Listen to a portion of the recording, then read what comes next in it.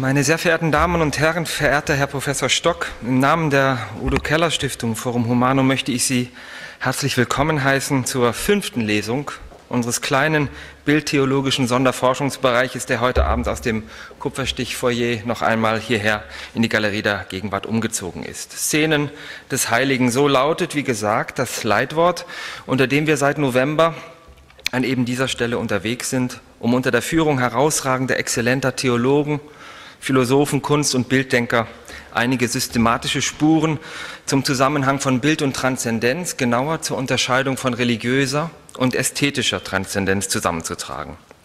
Vier Stationen, vier Lektionen sind es, die bis heute Abend hinter uns liegen. Es begann mit Jan Assmanns Erinnerung an die archaische Maximalformulierung des Heiligen als Faszinans et Tremendum damals im November. Danach kam Hans Beltings Einführung in die paradoxe Logik des heiligen Bildes, des Bildes als Träger und Medium des Absoluten. Darauf folgte Manfred Franks Entschlüsselung des kunstreligiösen Caspar David Friedrich Codes unter der Formel religionslose Kathedralen im Winter der Moderne und schließlich vor vier Wochen Michael von Brücks Exkursion in die fernöstliche Bildpraxis buddhistischer Meditationsbilder, damals unter der Überschrift Inszenierungen des Heiligen. Heute Abend wollen wir nur noch einmal einen Schritt zurück versuchen. Einen Schritt zurück, um uns vor dem dann folgenden Sprung in die Avantgarde und Moderne des 20. Jahrhunderts mit den beiden Schlussvorträgen zu den komplexen Pop Art Warhol und äh, Malevich Null-Ikone im April und Mai an dieser Stelle, um vor diesen Schlussvorträgen noch einmal die Fallhöhe schärfer zu stellen, die uns Modernen von unserer Vorzeit trennt. So kehren wir also noch einmal zur zweiten Station zurück unseres Gangs, zu den historischen und systematischen Grundlagen der paradoxen Logik des Bildes und dies dezidiert zugespitzt, Sie haben es eben schon gehört, auf die Opposition Kultbild versus Bilderverbot. Genauer, wir kehren in jene Konstellation zurück, die uns Hans Belting damals als Ära des Bildes vor dem Zeitalter der Kunst illustriert hat.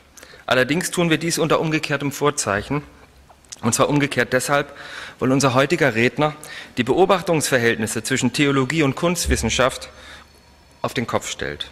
Gegen die bildpolitische Polemik des Kunstwissenschaftlers, der von einer Ohnmacht des Theologen angesichts der Macht der Bilder ausgeht, der spricht von einem bildpolitischen Abwehrkampf der Theologen, beobachtet unser heutiger Redner als Theologe im Gegenzug den Reduktionismus einer Kunstwissenschaft, die gar nicht anders kann, als die Vielfalt religiöser Bildpraxis auf die eine Gebrauchsform des ästhetischen Objekts alias Kunstwerk einzuschränken. Ist die Theologie also am Ende doch der blinde Fleck des kunstwissenschaftlichen Verfahrens und dies, und dies potenziert in einem Moment, wenn dieser Kunstblick Anlauf nimmt, die Schwelle zur Ära der Nichtkunst, des Bildkultes zu überschreiten?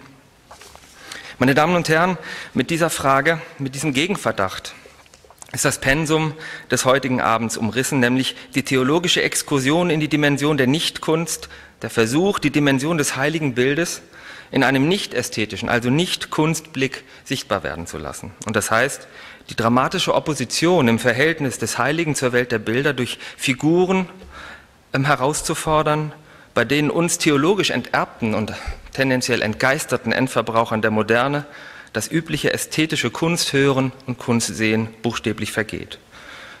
Nämlich durch eine Bildtheologie, die sich als Theologia positiver, als Theorie und Logik der Präsenz ja, Real, ja Real, ähm, Realpräsenz entziffert, einer, einer Bildtheologie, die die Kunst des Heiligen als Grenzwert der Kunst ernst nimmt und die den Bildraum, den Raum im Bild konsequent als Ereignis- und Gegenwartszone begreift, in dem sich die Präsenz einer nicht raumzeitlichen Wirklichkeit ereignet, formelhaft zugespitzt, also die heilige Fläche als Ereignis und Vollzugsform der Inkarnation. Meine Damen und Herren, es ist nun eine wunderbare Konstellation, dass wir für die heutige Lesung mit Professor Alex Stock eben jenen Pionier der Bildtheologie gewinnen konnten, der mit seiner Arbeit und der mit seinem Namen seit nunmehr 30 Jahren für eben dieses ebenso provozierende wie komplexe Programm der Bildtheologie steht.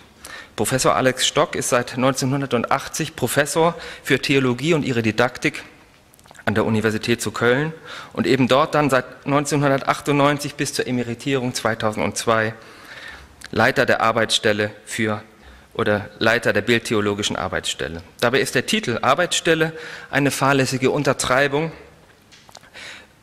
Denn übersetzt in den Jargon der aktuellen Bildungsreformen müsste man eher von einem Ein-Mann-Exzellenzcluster oder auch von einem Ein-Mann-Graduiertenkolleg sprechen.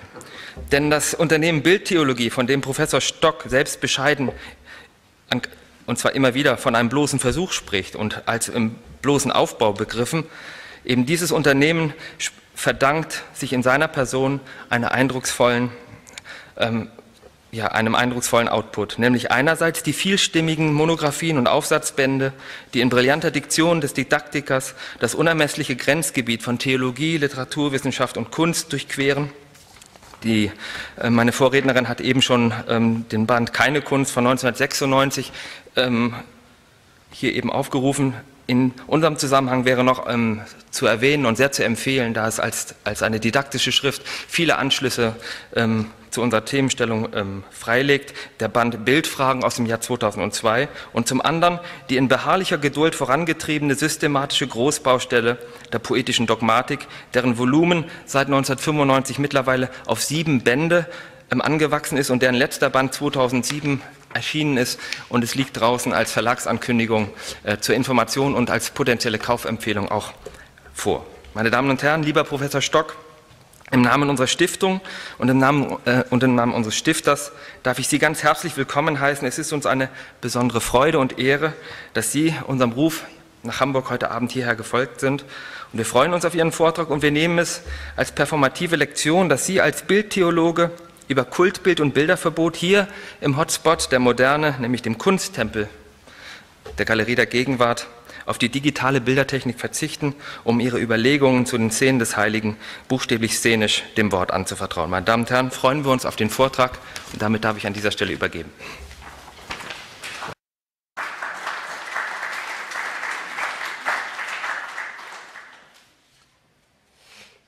Danke der Udo Keller Stiftung sehr herzlich, dass sie mich vom Rhein an die Elbe äh, gelockt hat. Danke auch Frau Sitt und danke Herrn Dr. Wernkes für die freundliche Begrüßung. Ich wollte auch gerne Frau Fricke danken, weil sie das sehr im Vorfeld sehr charmant also vorbereitet hat, sodass ich gerne hier hingekommen bin. Sie hören, ich habe ein bisschen eine, gerade eine Erkältung hinter mir. Da ich, mir daran liegt, dass Sie mich nicht nur hören, sondern auch verstehen, würde ich Sie bitten, sich zu melden, wenn ich nicht mehr verständlich sein sollte. Szenen des Heiligen. Was meint das Szene? Ein Milieu, wie man von der Kunstszene spricht oder der Drogenszene, also eine Subkultur, ein sozialer Biotop, gibt es in diesem Sinne Milieus des Heiligen in unserer Gesellschaft?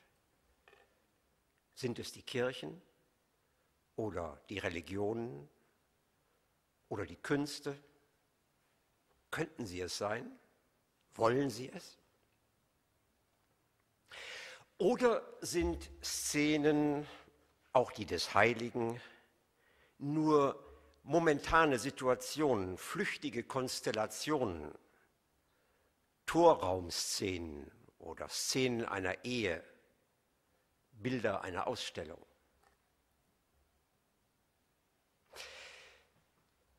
Das griechische Wort skene, von dem sich das Wort Szene herleitet, bedeutet Zelt und hat von dieser ursprünglichen Bedeutung aus gesehen eine eigentümlich doppelte Geschichte in der europäischen Kultur. Im Griechischen verbindet sich der Begriff schon seit dem fünften vorchristlichen Jahrhundert mit dem Theaterwesen.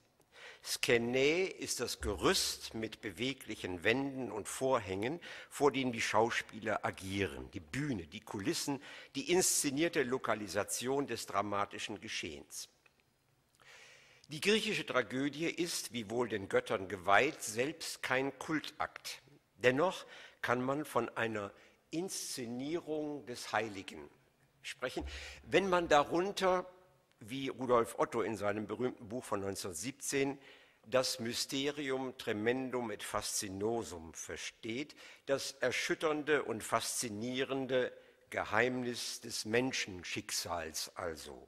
Hier das die Zuschauer erregen, bewegen und reinigen soll, die Katharsis. Von dieser griechischen Herkunft her hat die Kunst, die des Theaters wie auch der anderen Künste, eine Mitgift, das Heilige in Szene zu setzen. Ob und wie sie dieses Erbe wahrnehmen, ist eine andere Frage. Der andere Strang von Skene beginnt in der Septuaginta, der Übersetzung des Alten Testaments ins hellenistische Griechisch. Es ist die Übersetzung des hebräischen Wortes für Zelt, Ohel. Auffällig ist ein besonderer kulttechnischer Gebrauch dieses Begriffs, die Rede vom Ohel Moed, der Skene Martyrium, dem Zelt der Begegnung oder Bezeugung, was bei Luther dann mit Stiftshütte verdeutscht wird. Gedacht ist an ein in der Wüstenzeit Israels vorhandenes transportables Zeltheiligtum als Ort der Begegnung mit Gott, seiner Befragung. Im Buch Exodus, Kapitel 25 folgende, wird seine Einrichtung detailliert beschrieben. Der innerste Raum, auf den das mit kostbaren Teppichen gebaute Heiligtum ausgerichtet ist, ist das Allerheiligste. Kadosh Kedushim. Ihm vorgelagert ist der Raum des Heiligen, in dem sich der siebenarmige Leuchter, der Tisch mit den Schaubroten und ein kleiner Räucheraltar befinden. Das Stiftszelt als Ganzes umgibt schließlich ein heiliger Bezirk für die Waschungen und den Brandopferaltar.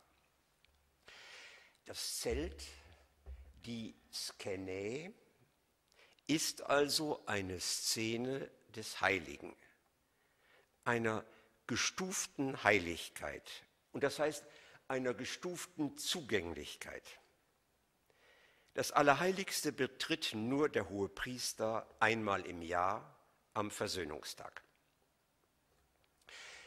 Das ist also das zweite für die europäische Kulturgeschichte prägende Szenarium des Heiligen.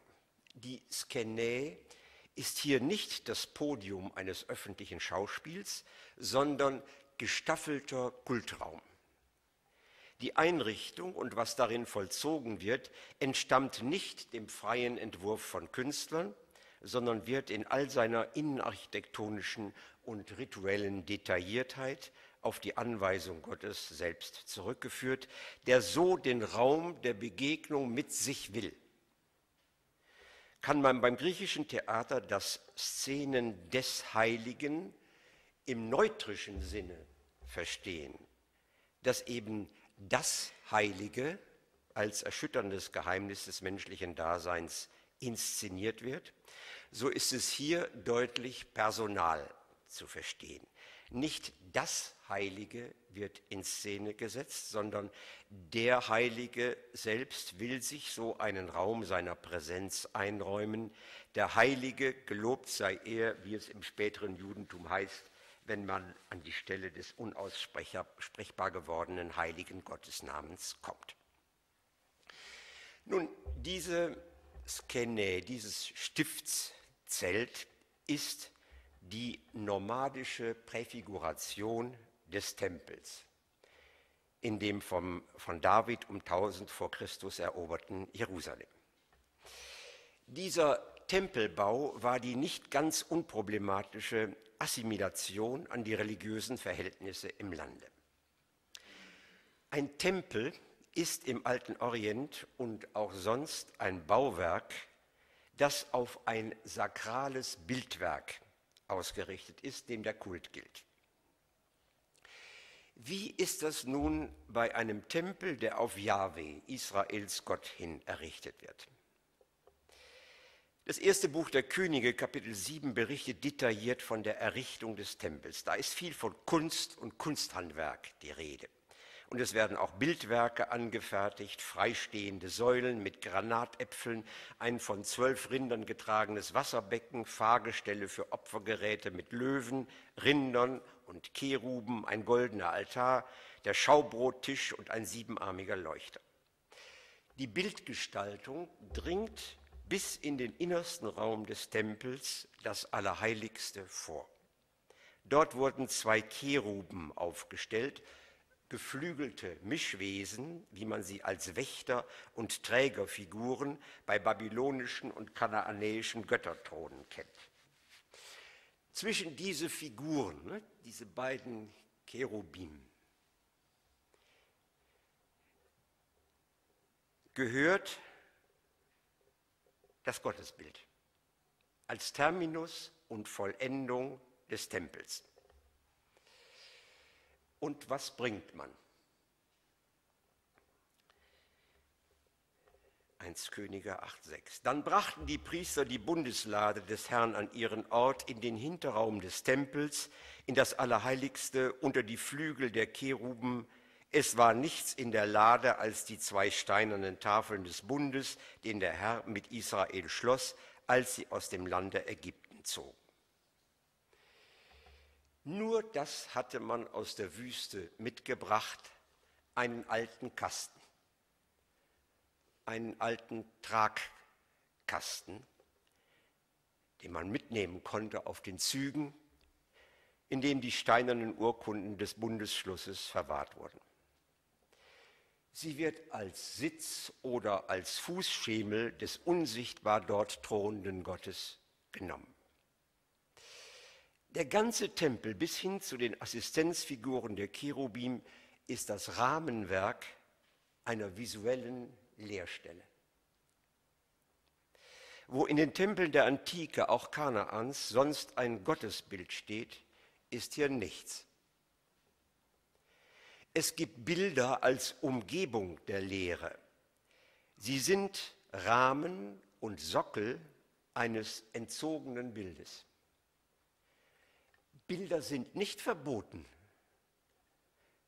sind vielmehr unentbehrlich als Umgebung, die dem Unsichtbaren in, im Sichtbaren eine erkennbare Stelle einräumt. Man könnte das Unsichtbare nicht sehen ohne das Sichtbare.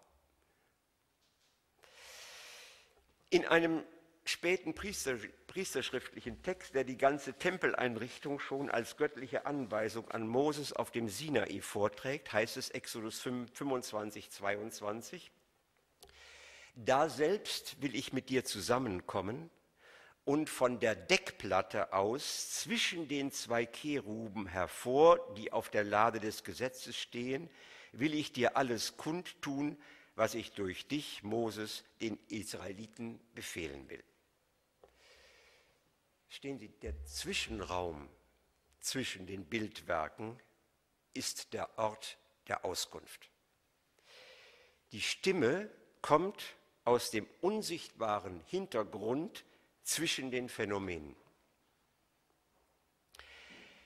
Die Faszination der Kultbilder und Bilderkulte, die sie im kanaanäischen Umfeld herrschten, blieb freilich in Israel virulent.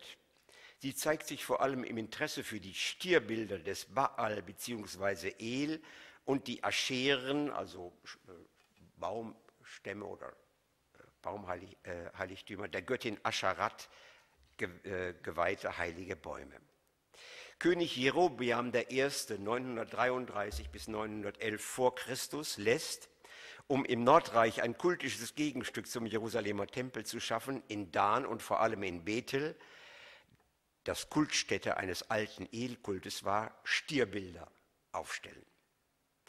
Vielleicht waren sie anfänglich wie die beiden Jerusalemer Cheruben als äh, Postament äh, gedacht, also als äh, Sockel.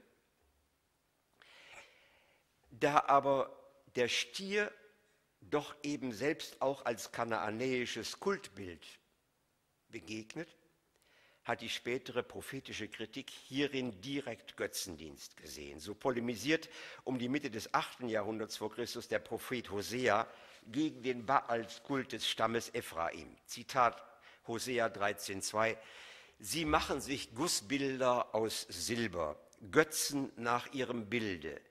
Machwerk von Schmieden ist alles. Menschen sollen Kälber küssen. Auch die berühmte Geschichte vom goldenen Kalb ist eine in die Wüstenzeit zurückverlegte Auseinandersetzung mit dem kanaanäischen Bilderkult. Die bei der Zerstörung des Tempels 587 vor Christus verloren gegangene Lade wurde im zweiten Tempel nach dem Ende des babylonischen Exils nicht wiederhergestellt. Das Allerheiligste war nun vollkommen leer und dunkel. Wie es bei Flavius Josephus in der äh, Beschreibung heißt, der am weitesten innen befindliche Raum in einer Größe von 20 Ellen war durch einen Vorraum nach außen abgetrennt und er war vollkommen leer.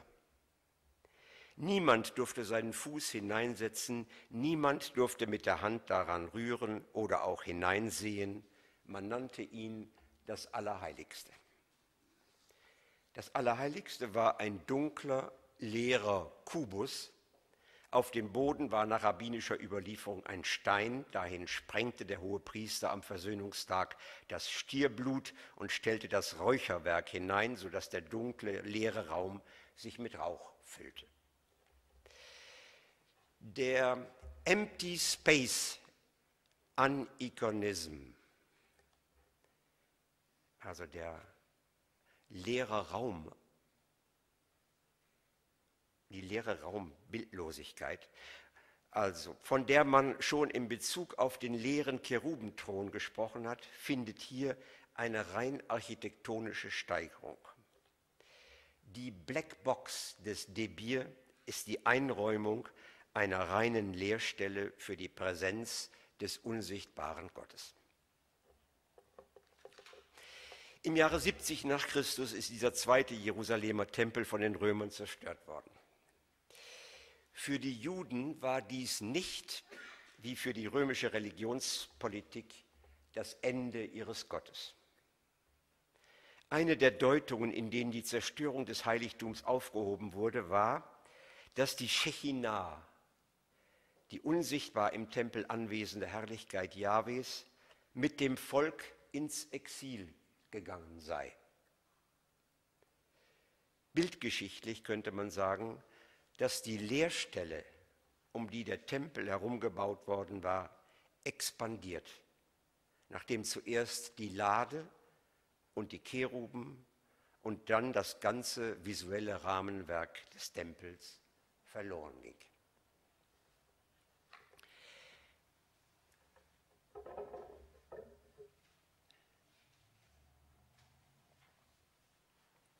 Dieser Prozess einer fortschreitenden Anikonisierung bedeutete jedoch nicht eine vollkommene Dematerialisierung der Gottesverehrung.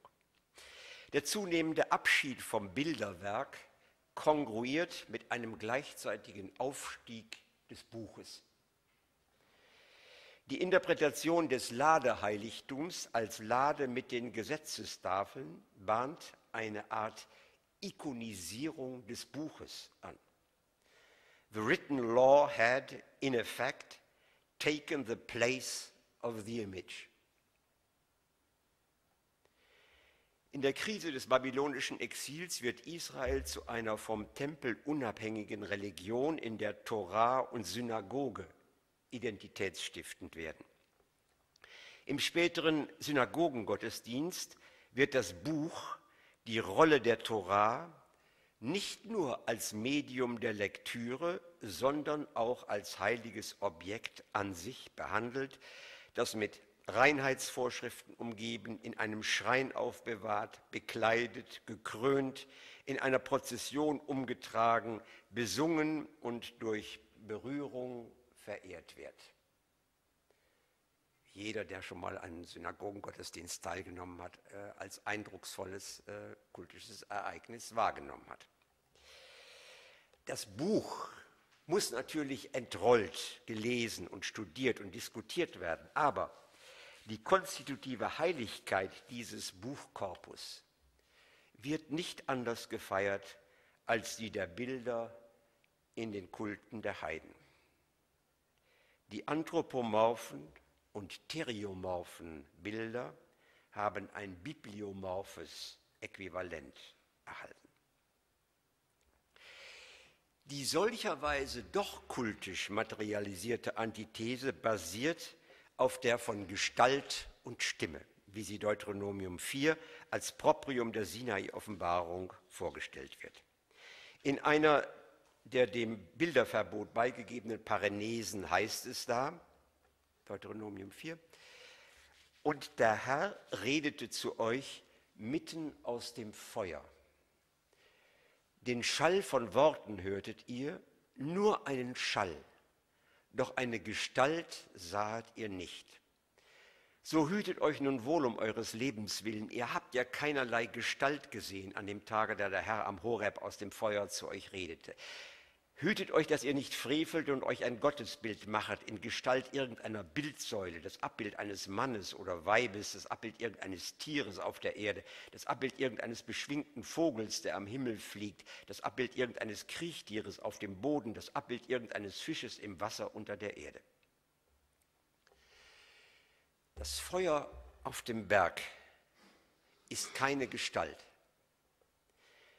Es ist nur das flammende Ambiente einer Stimme, des Schalls von Worten, die dann aufgeschrieben werden als die zehn Worte, und er schrieb sie auf zwei steinerne Tafeln. Gottes Stimme materialisiert sich in Gottes eigenhändiger Schrift, was so von Gott selbst her Offenbarungswürde erreicht hat, kann im Schreiben der Schreiber von Büchern in aller gebotenen Überlieferungsehrfurcht weitergeschrieben werden. Wie die Schrift als Sinn und Objekt vom Sinai her geheiligt ist, so sind die Bilder verpönt. Gestalt habt ihr nicht gesehen.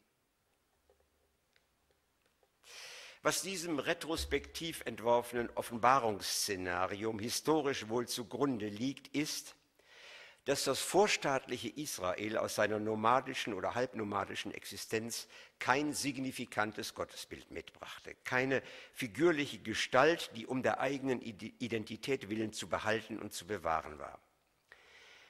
Anthropomorphe und Theriomorphe, also tiergestaltige Kultbilder, waren von Anfang an die der anderen, die man in Zeiten toleranter Monolatrie integrieren konnte, die aber in Zeiten empfundener Identitätsbedrohung als Indikatoren der Fremdbestimmung verbannt und zerstört werden mussten.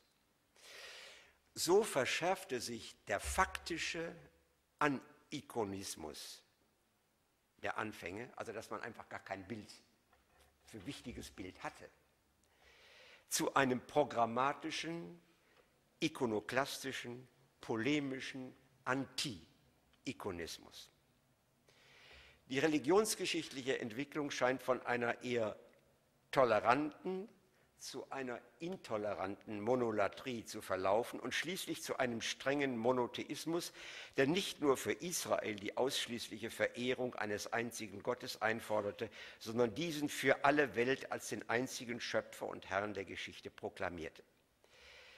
Die damit einhergehende, das damit einhergehende Bewusstsein der geistigen Überlegenheit des von diesem Volk, von diesem Gott auserwählten Volkes über die politisch wie auch kulturell überlegenen Völker, unter denen es in Babylon und dann unter persischer und hellenistischer Oberherrschaft leben musste, hatten eine Bilderpolemik im Gefolge, die die Götterbilder von ihrer Materialität her madig oder lächerlich zu machen versucht.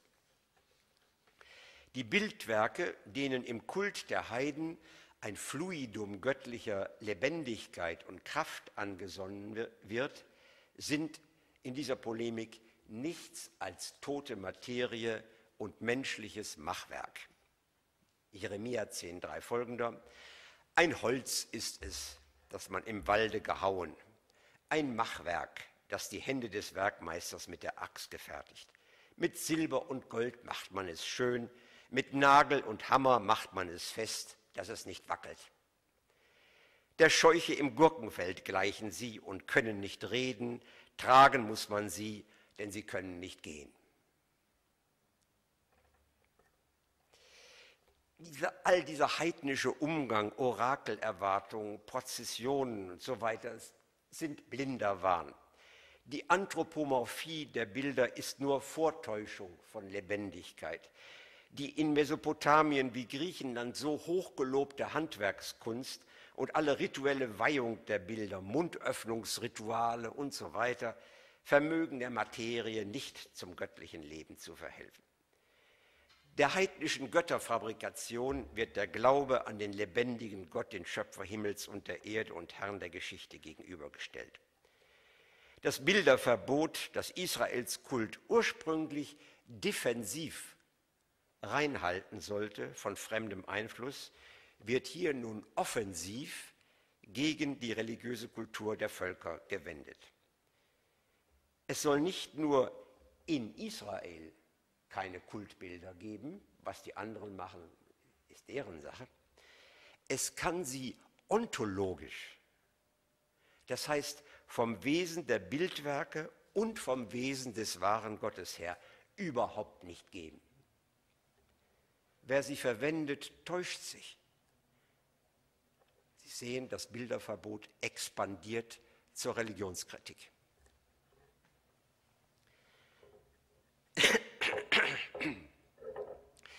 Ich komme jetzt zur zweiten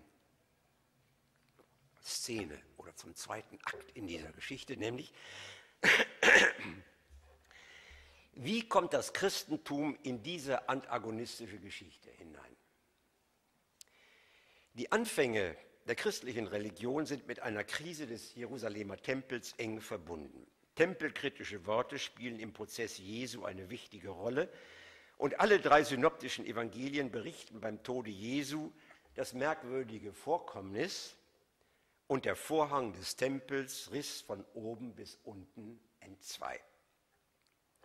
Das ist ja der Vorhang zum dunklen Allerheiligsten.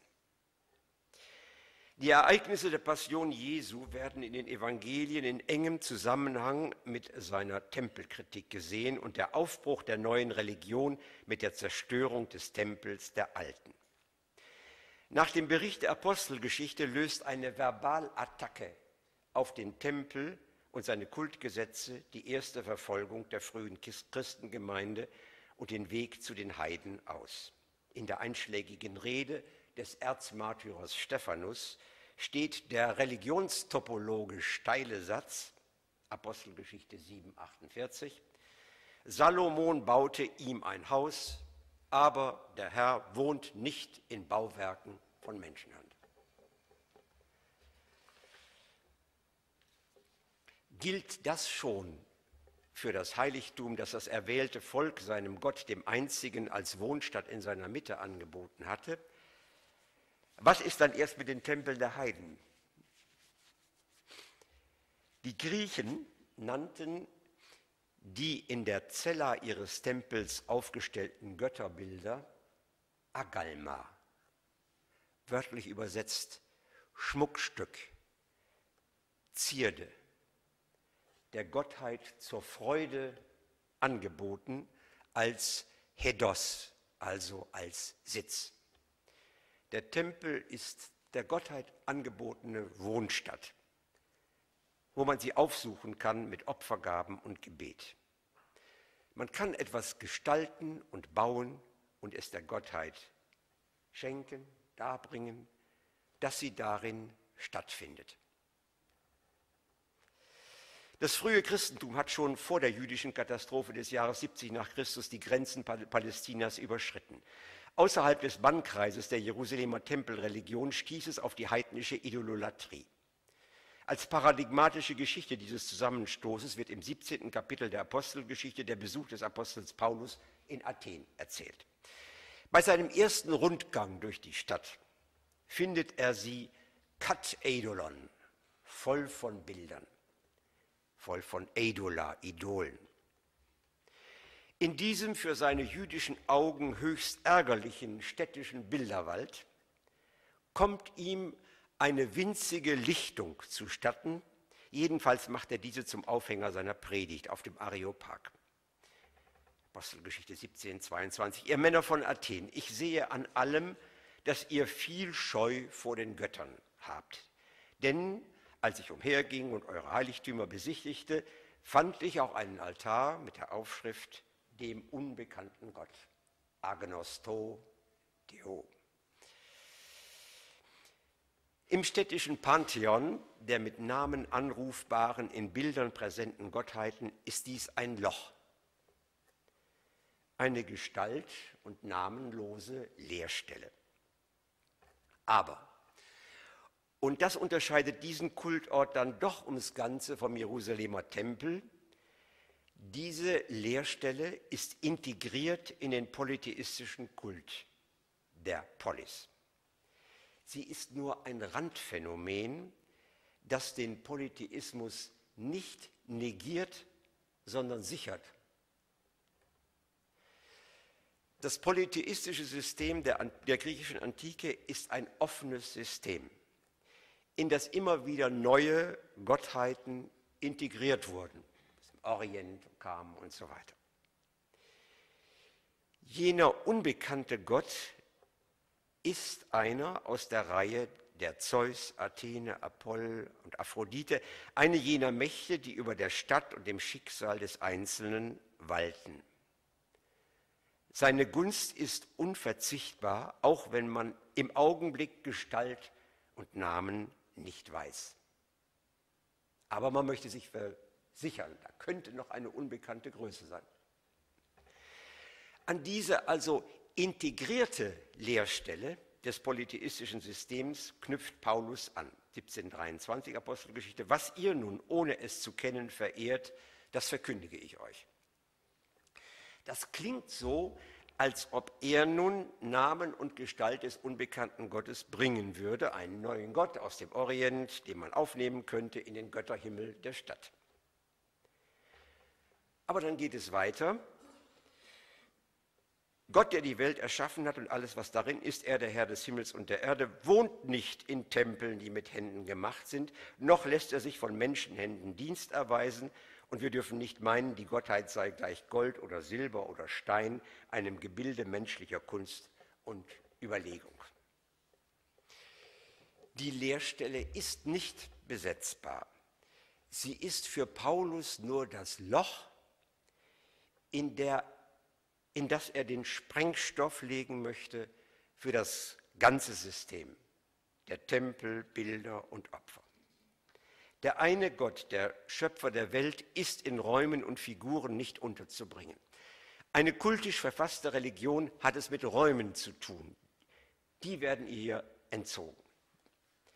Die Argumentation ist schöpfungsdialogisch, der Schöpfer der Welt, aber auch eschatologisch, das Ende ist nahe, der Richter der Welt mit der Auferstehung Christi schon eingesetzt. Da ist keine Zeit mehr für religiöse Baupflege und frommes Kunsthandwerk. Findet Gott, wenn ihm so jede Wohnstätte versagt wird, überhaupt nicht mehr statt in der Welt? Doch, heißt es in den paulinischen Briefen, 1. Korinther 3,16, wisst ihr nicht, dass ihr Gottes Tempel seid und dass der Geist Gottes in euch wohnt? Oder 2 Korinther 6,16, wir sind der Tempel des lebendigen Gottes. Das ist vom einzelnen Gläubigen gesagt, vor allem aber von der Gemeinde. Die christliche Gemeinde ist die Wohnstatt Gottes in der Welt, sein Heiligtum. Wenn man ihn, Gott, den Heiligen, antreffen will, da, da ist er. Versammeln kann sich diese soziale Gottesstätte überall. Besondere Gebäude braucht man dafür nicht. Ja, deren materieller Heiligkeitsaufwand würde nur verunklaren, dass Gott als irdische Anwesenheit Geist und Leben von Menschen sucht. Die Argumentation der angeführten neutestamentlichen Texte scheint so generell, dass es da nicht nur für jüdische und heidnische Tempel, sondern auch entsprechende christliche Versuche gar kein Entkommen zu geben scheint. Gott wohnt überhaupt nicht in Tempeln, die von Menschenhänden gemacht sind, auch wenn diese Menschenhände zufällig Christenhände sind. Es dürfte sie also eigentlich nicht geben. Aber es gibt sie.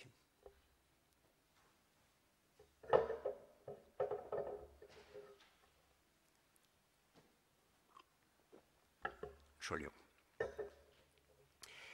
komme zur nächsten äh, Szene.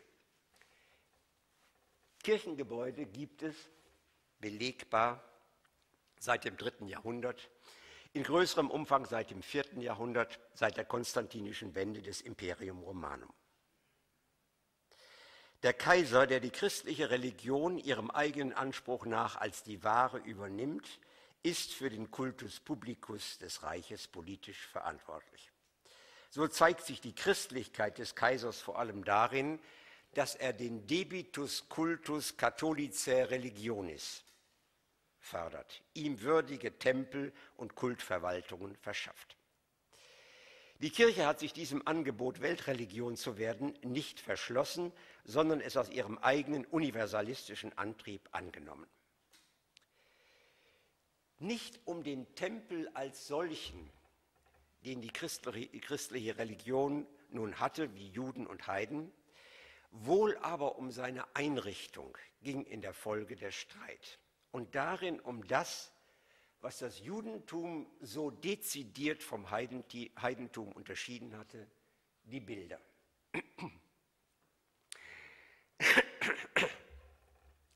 In einem 1973 geschriebenen Artikel beschäftigt sich der amerikanische Historiker Peter Brown mit der Frage, worum es in den byzantinischen Bilderstreitigkeiten des 7. und 8. Jahrhunderts eigentlich gegangen sei. Und er antwortet darauf mit der knappen These, The Iconoclast controversy was a debate on the position of the holy in the Byzantine society. Es ging um die Stellung des Heiligen in der byzantinischen Gesellschaft. Alle zusammen, Peter Braun weiter, alle zusammen, Ikonoklasten, Karolinger, Ikonodulen, stellten während des 8. Jahrhunderts unentwegt dieselbe Frage, wo ist das Heilige? Was gehört dazu und was nicht? Folgt man dieser These, so hat die Kontroverse um die Bilder ihren Kern in einer Topik des Heiligen. Wo, worin ist das Heilige antreffbar? Die Ortsfrage aber stellt sich als Grenzfrage. Was gehört dazu, was nicht? Die Grenzfrage des Heiligen aber ist keine Randfrage, sie tangiert das Heilige insgesamt. Das Moment der Grenze ist ja ein Definitionsmoment des Heiligen selbst. Das Sakrum ist Temenos, Templum, also herausgeschnittener oder eingegrenzter Bezirk. Wo Thomas von Aquin in der Summa Theologica die Lehre von den Sakramenten beginnt und sich mit der Frage befasst, was eigentlich Sakra und Sakramenta seien, zitiert er eine alte Ansicht über das Heilige. Ein bisschen Latein jetzt. Secundum antiquos sancta vel sacrosancta dicebantur quecumque violari non licebat. Sicut etiam muri civitatis. Verstanden das Latein, ja? Hamburg. also nach den Alten äh, wurde heilig oder hochheilig das genannt, was man nicht verletzen durfte. Quecumque violari non licebat, was nicht erlaubt war zu verletzen. Sicut etia mori civitatis, wie äh, zum Beispiel die Mauern einer Stadt. Das Heilige wird definiert durch die verletzbare Grenze, eben die Mauern einer Stadt zum Beispiel. Die Grenze des Heiligen ist aber, wie die Geschichte zeigt, nicht nur verletzbar, sondern auch verlegbar. Im 8. Jahrhundert sind die Bilder das bewegende Moment des Streits um den unsicher gewordenen Grenzverlauf des Heiligen. Mit der Bilderfrage steht aber der Bestand dessen, was der christlichen Religion heilig ist und sein sollte, insgesamt zur Debatte. Die Topik des Heiligen kommt mit dezisionistischen Umfangsbestimmungen, das ist einfach so, nicht mehr aus, die Seinsart und Struktur dessen, was als heilig gelten soll, bedarf der Begründung. Nur in diesem umfassenden Rahmen lässt sich so oder so der Ort der Bilder bestimmen. Der Bilderstreit der altkirchlichen Zeit ist in der Hauptsache eine Angelegenheit der Ostkirche und der byzantinischen Theologie mit dem Höhepunkt im Zweiten Konzil von Nicäa 787. Aber es gibt eine interessante abendländische Reaktion, ein großes Opus, dessen Autor Karl der Große, also wahrscheinlich nicht er selbst, sondern seine fränkischen Hoftheologen Theodor von Orleans oder Alcuin sind, die Libri Carolini verfasst im Jahre 790, 91. In dieser Opposition Byzanz und dann äh, Fränkisches Reich tritt zutage, worum bei den Bildern eigentlich in dieser Zeit gestritten wird. Zunächst das Dekret des Konzils. Wir beschließen in aller Sorgfalt und Einmütigkeit, so wie der Typos des kostbaren und lebenspendenden Kreuzes sind auch die verehrungswürdigen und heiligen Bilder, ob sie aus Farben, Mosaiksteinchen oder anderem geeigneten Material gemacht sind, anzubringen in den heiligen Kirchen Gottes, auf den heiligen Geräten und Gewändern, auf Wänden und Tafeln, an Häusern und Wegen, und zwar sowohl das Bild unseres göttlichen Herrn und Erlösers Jesus Christus wie unserer jungfräulichen Herrin, der heiligen Gottesgebärerin, der ewigen Engel und aller Heiligen und Gerechten. Denn je öfter sie durch die bildliche Darstellung betrachtet werden, umso mehr werden die, die sie betrachten, zur Erinnerung an die Urbilder und zur Sehnsucht nach ihnen angeregt und dazu, ihnen ihren Gruß und ihre Verehrung zu widmen. Nicht die eigentliche Latreia, die allein der göttlichen Natur zusteht, sondern so, dass wir ihnen, wie dem Typos des kostbaren und lebensspendenden Kreuzes, wie den heiligen Evangelien und den anderen heiligen Kultgegenständen, Weihrauch und Lichter zu ihrer Verehrung darbringen. So war es ja schon bei den alten frommer Brauch, denn die Ehre, die man dem Bild erweist, geht auf das Urbild über.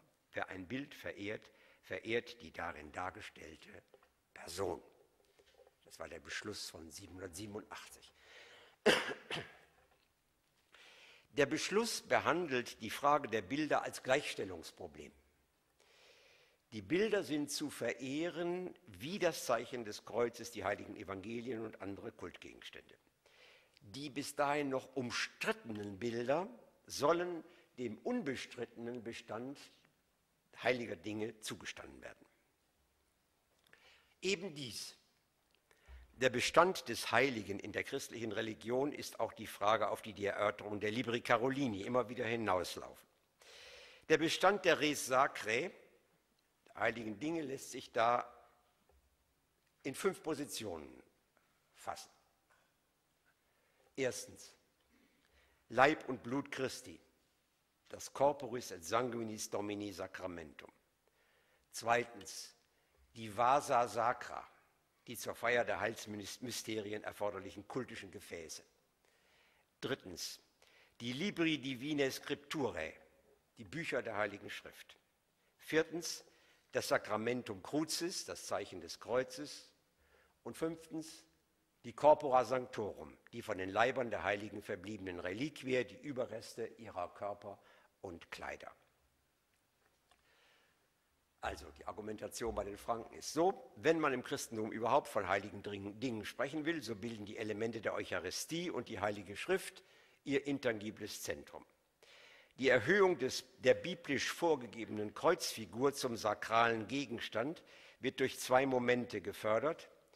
Die Identifizierung des Kreuzes mit dem kaiserlichen Vexillum, dem Sieges- und Hoheitszeichen des Imperiums, und die ebenfalls in, in, die konstantinische Zeit zurückreichende Auffindung des wahren Kreuzes in Jerusalem und die daran anschließende Verehrung der Kreuzreliquien. Aber, und das ist für die Logik der Bildkontroverse festzuhalten. Diese Figura Crucis wird nicht als Imago, als Bild verstanden. Sie ist repräsentatives Hoheitszeichen, Symbol also oder Reliquie.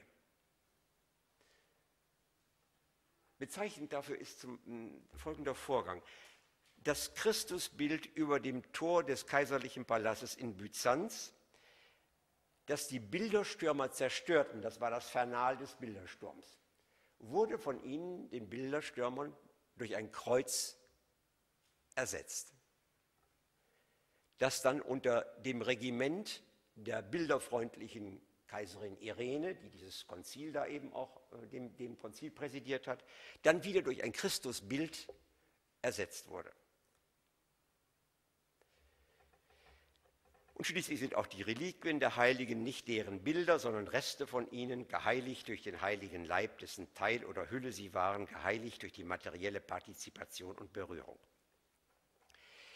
Die Franken berufen sich bei dieser Katalogisierung des Heiligen auf die Antiqua Traditio, die sie besser bewahren als die äh, Byzantiner. Aber ist das alles nur rechtspositivistisches Traditionsargument oder liegt dieser Tradition, auf die sich die Franken beziehen, ein besonderes eigenes Konzept von Heiligkeit zugrunde? Im Zusammenhang der Besprechung der Eucharistie heißt es in den Libri Carolini, die Konsekration werde vollzogen durch die von Gebet begleitete Handauflegung des Priesters, Impositio Manus. Und mit diesem Wort Hand, Manus, ist eine äh, semantische Achse markiert, auf der die Differenz von Bild und Sakrament eingetragen wird. Beide, Bild und Sakrament, gehen hervor aus einer Handlung.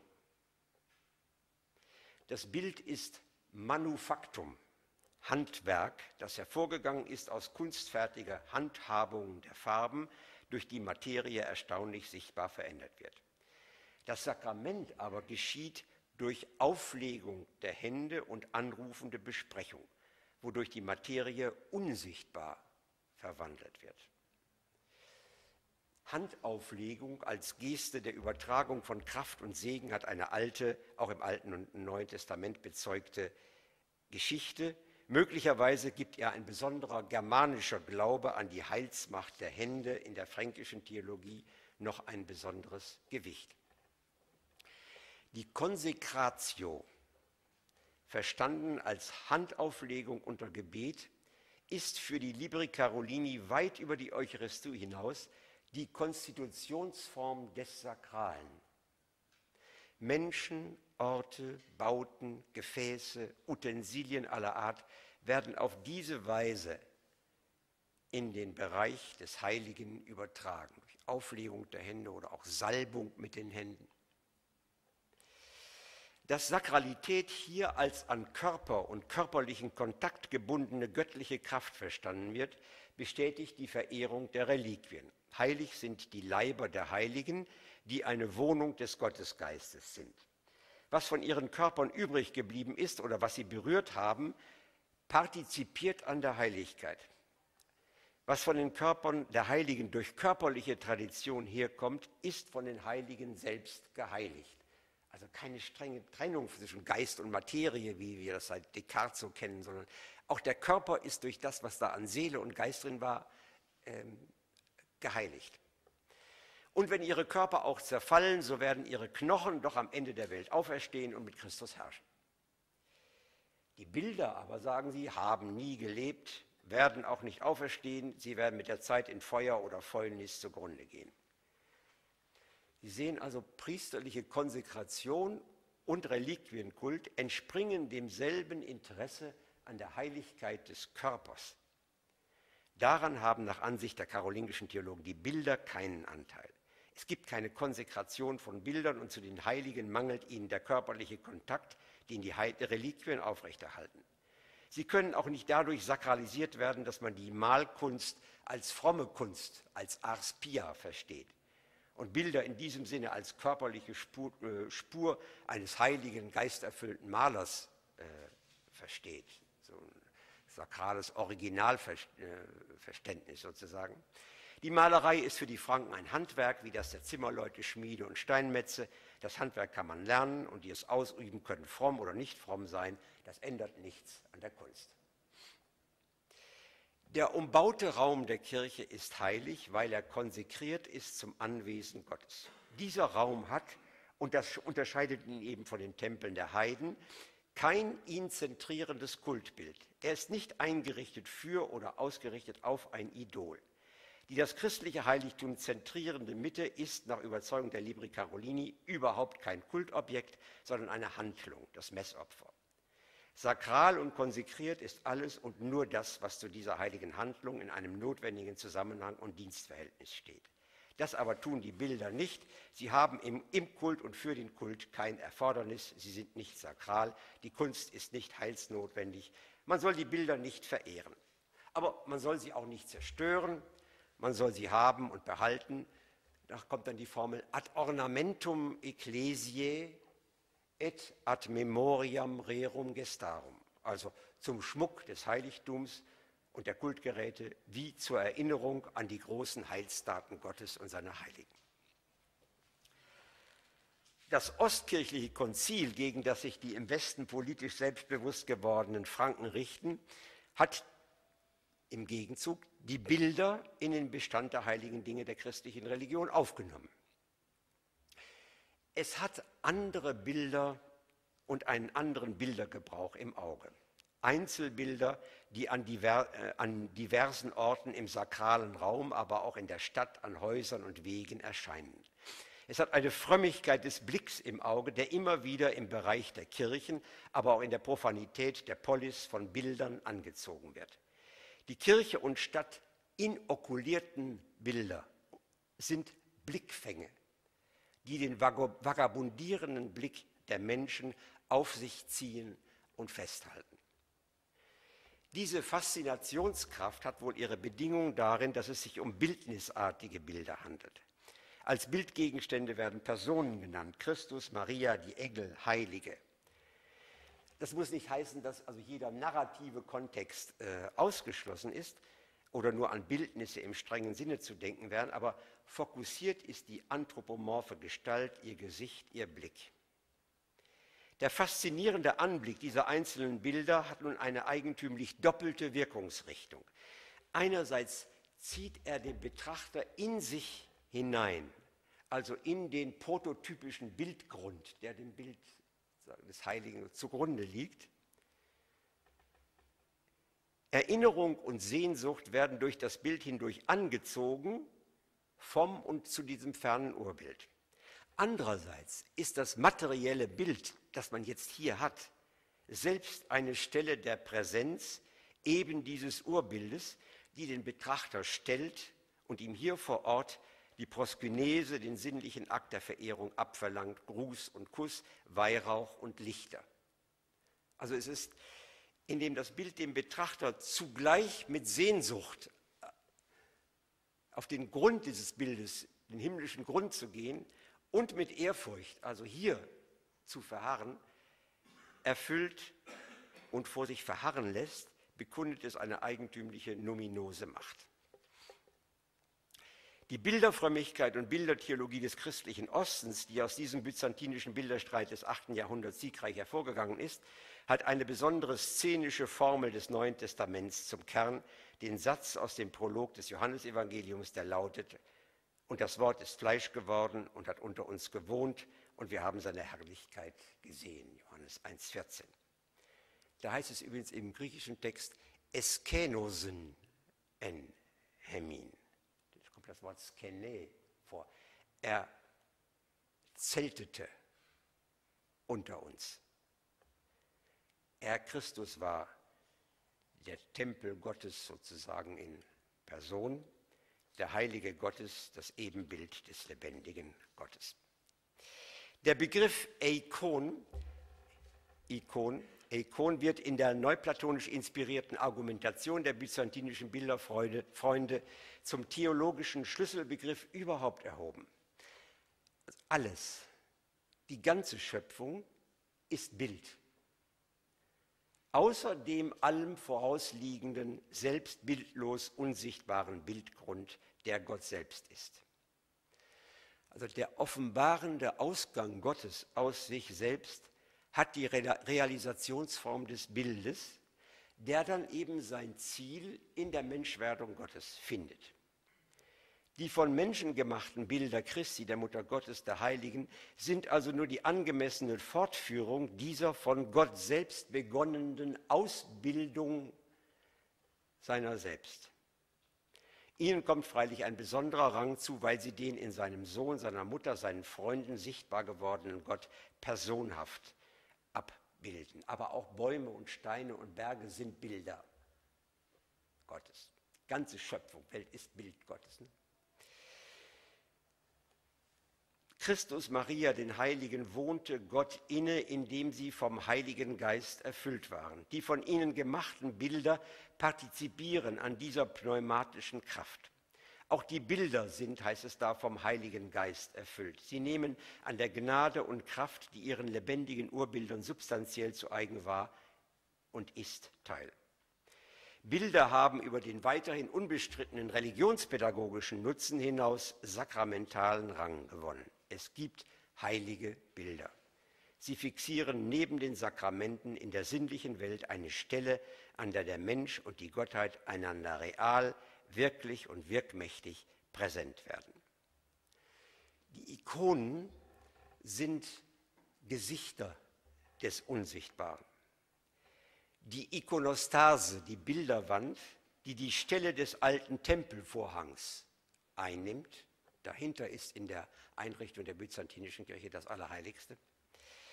Also die Ikonostase ist eine Wandfläche aus Gesichtern, in denen die jenseitige Welt des Unsichtbaren uns anblickt.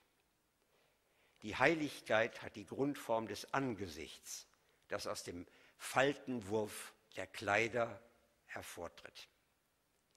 Die Skulptur, die später im Westen neben dem Tafelbild sakralen Rang gewinnt, ist der Ostkirche eigentlich fremd geblieben.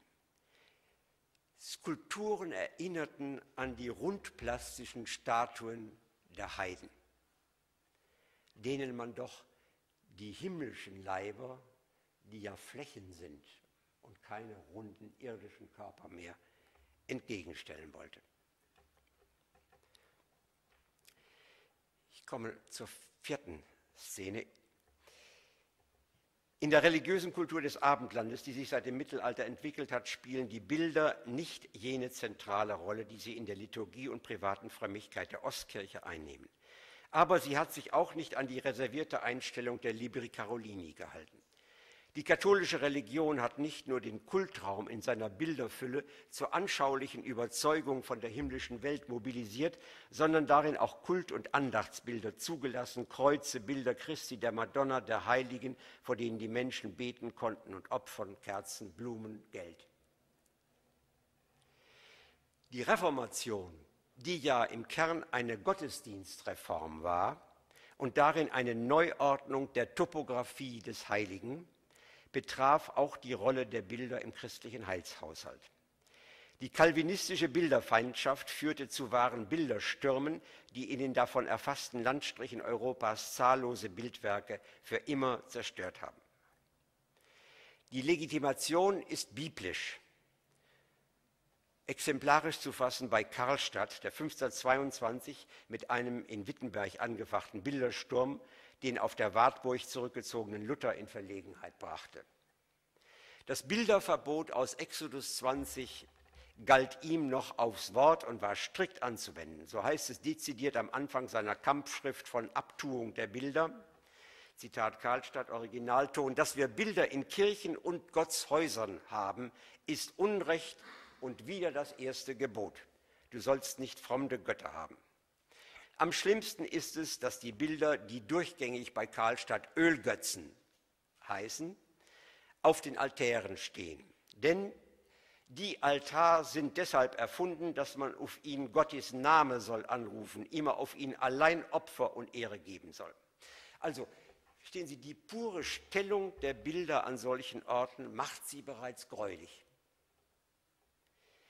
Karlstadt subsumiert das Bilderverbot dem, dem Fremdgötterverbot so, dass das Bild den Götzen macht. Es ist also ganz unerheblich, was die Bilder darstellen. Ob Baal oder Astarte oder Christus oder Maria, ob heidnische Götter oder christliche Heilige. alles zusammen Götzen. Der Ort macht sie dazu.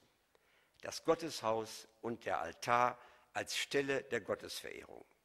Was da aufgestellt wird als Bildwerk, ist unabhängig vom Bildgegenstand per se und als solches Götzenbild und so wieder Gottes Gebot. Es ist zu entfernen, notfalls mit Gewalt. Für Luther gehörte das alttestamentliche Bilderverbot im engeren Sinne zu den Kultvorschriften des mosaischen Gesetzes, die christlich nicht mehr zu urgieren waren. Gleichwohl sah er in der gängigen Praxis der katholischen Frömmigkeit seiner Zeit die Gefahr des Götzendienstes, der sein Vertrauen statt auf Gott und den einen Herrn Jesus Christus, auf die Heiligen und ihre Bilder, ja auf das ganze werkgerechte Hantieren mit heiligen Orten, Wallfahren und Objekten legte. Auf den Glauben des Herzens kam es ihm an. Der konnte durch Bilder in den Büchern und in den Kirchen belehrt und gestützt werden, aber Bilder als eigene Gegenstände der Andacht und des Kultes sollten aus dem Bereich dessen, was den Christen heilig ist, ausgeschlossen werden. Und wie schon einmal in der Geschichte des Judentums stieg das Buch in den Rang eines heiligen Objekts auf, die heilige Schrift nicht nur als Urkunde der Offenbarung gelesen und in der Predigt verkündet, sondern auch in der Mitte des Altars bis heute ja häufig aufgestellt, wo nach aller Sakraltopographie das Allerheiligste eines jeden Heiligtums sich findet. Die römische Kirche hat sich im Konzil von Trient 1545 bis 63 entschieden zu der alten Praxis nicht nur der pädagogischen, sondern auch der devotionalen und kultischen Rolle von Bildern bekannt und sie im wörtlichen Rückgriff auf das zweite Konzil von Nicäa, das letzte der ungeteilten Christenheit, verteidigt. Die nachtridentinische Entwicklung des katholischen Tempels im Barock, aber dann auch im Historismus des 19. Jahrhunderts hat zu einer ungeheuren Visualisierung des Heiligen geführt. Sakraltopografisch ist dabei noch eines bemerkenswert. In die Mitte dieses Bilderkosmos, also nehmen Sie die Wieskirche oder so eine exzessive äh, Barockkirche, in die Mitte dieses Bilderkosmos wurde ein Kasten gestellt, der als Realpräsenz Gottes etwas höchst Abstraktes enthielt, eine weiße Oblate, der Tabernakel. Die Hostien, die hier aufbewahrt wurden, stammen aus einer vorangegangenen Messe und sind für eine künftige Kommunion bestimmt. Bei Luther findet sich einmal in der deutschen Messe von 1526 der Vorschlag, dass man, Originalton Luther, dass man flugs auf die Konsekration des Brots das Sakrament reiche und gebe. Die katholische Eucharistiepraxis ist gegen dieses Flux der Speisung gerichtet. Die Sumptio wird verzögert in der Messe selbst über die Messe hinaus. Der Raum der Verzögerung des Konsums wird mit Verehrung gefüllt. In der Messe mit Erhebung der Hostie und Zeigung der Hostie und über die Messe hinaus die auf den Tabernakel und die Monstranz gerichteten Sakramentsandachten und Prozessionen zu Fronleichnam vor allem. Also der Vollzug des Mahls wird angehalten zugunsten der Kontemplation der Hostie. Es ist eigentlich der eigentümliche Versuch, in die für die christliche Religion zentrale Kulthandlung, das Abendmahl, den Kult eines Bildes zu implantieren, das aber kein Bild sein soll, sondern der wahre Leib Christi, an dessen weißer Abstraktheit es wie an Malevich schwarzem Quadrat nicht viel zu sehen gibt, nur zu glauben und zu verehren und die Aneignung endet dann schließlich doch im Verzehr. Architektur und Nomenklatur, religiöse Praxis und theologische Interpretation lassen keinen Zweifel daran, dass dies christliche Sanctissimum dem Modell des Tempels folgt und darin etwas spezifisch Christliches auszudrücken versucht. Tabernakel, Tabernaculum ist ja in der lateinischen Bibelübersetzung gebräuchlicher Ausdruck für Zelt für das Zelt der Begegnung. Und die Engel, die manchmal zu Seiten des Tabernakels angebracht sind, sind die, hierfür, die hierhin übergesiedelten Cherubim der Bundeslade, die nun keine Lehre, sondern ein Schaubrot rahmen. Also das ist die typisch katholische Szenerie des Heiligen, der die protestantische Konzentration auf das Buch und den Gemeinschaftsvollzug des Abendmahls gegenübertritt.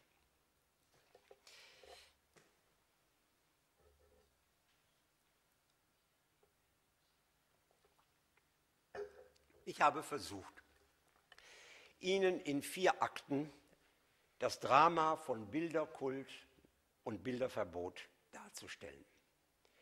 Jeder Akt zeigt eine elementare Opposition jüdisch-heidnisch, heidnisch-christlich, ostkirchlich-westkirchlich, katholisch-protestantisch. Die im Alten Testament grundgelegte Szenerie des Heiligen bildet durch Metamorphosen und Krisen hindurch ein Kontinuum unserer kulturellen Geschichte. Der fünfte, noch offene Akt, in dem wir selber mitspielen, ohne ihn vollends zu überblicken, ist unsere Gegenwart. Sie ist nicht einfach die lineare Fortsetzung der bisherigen Geschichte des Heiligen in unserer Kultur, dass man daraus ablesen könnte, so muss es weiter und zu Ende gehen. Aber wir können auf dem Hintergrund reflektierter Vergangenheit unsere gegenwärtige Lage sakraltopologisch zu lesen versuchen. Was ich mit ein paar Fragen noch zum Schluss andeuten möchte. Liegt die Opposition der Moderne noch zwischen den christlichen Konfessionen.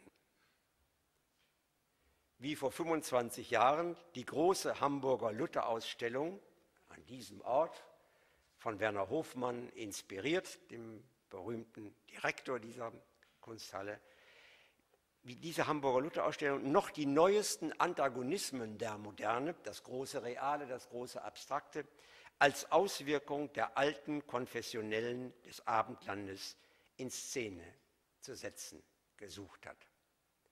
Ist es das noch? Oder liegt die entscheidende Opposition zwischen den Religionen,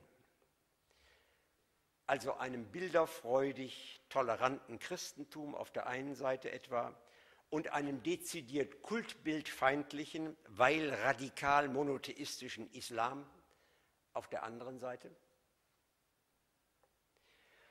Oder zwischen den Religionen überhaupt und der Kunst auf der anderen Seite, sei es, dass diese, die Kunst, sich allen Transzendenzanstrengungen der Religion gegenüber als Hort einer rein ästhetisch-innovatorischen Immanenz versteht, sei es umgekehrt, dass sie die Kunst sich als neue Sachwalterin dessen ansieht, was ehedem die religiösen Kulte, die inzwischen schwächeln, verwaltet haben, wie es in einem steilen Satz von Walter Pichler einmal heißt, dem Künstler Walter Pichler, Religiosität ist heute nur noch in der Kunst möglich. Im Erbe vielleicht der Inszenierung des Heiligen, wie es nicht der Kult, sondern das griechische Theater anfänglich entwickelt hat, knüpft man daran jetzt an, nachdem die andere Geschichte zu Ende gegangen ist? Oder liegt sie am Ende zwischen Kunst und Religion zusammen gegenüber einer visuellen Zivilisation, der gar nichts mehr heilig ist und auch gar nichts mehr heilig sein kann. Aber wie sollte man eine solche Entente cordiale von Kunst und Religion verstehen? Wie könnte sie aussehen? Im letzten Satz seines Buches Ereignis und Aura spricht der Philosoph Dieter Mersch von einer Kunst, die über alle ja durchaus berechtigten Unterhaltungsbedürfnisse der Gesellschaft hinaus, Zitat Mersch, Augenblicke des Mysteriums in transzendenzloser Zeit zu entzünden sucht.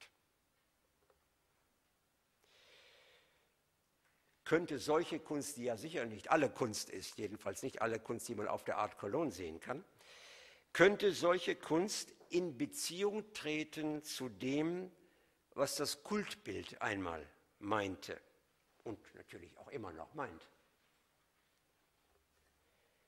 Eine mögliche Berührung hat der Grazer Philosoph Peter Strasser ins Auge gefasst, wenn er sagt, unsere Liturgien sind höchst unscheinbar. Sie erfordern eine große Reinheit der Anschauung.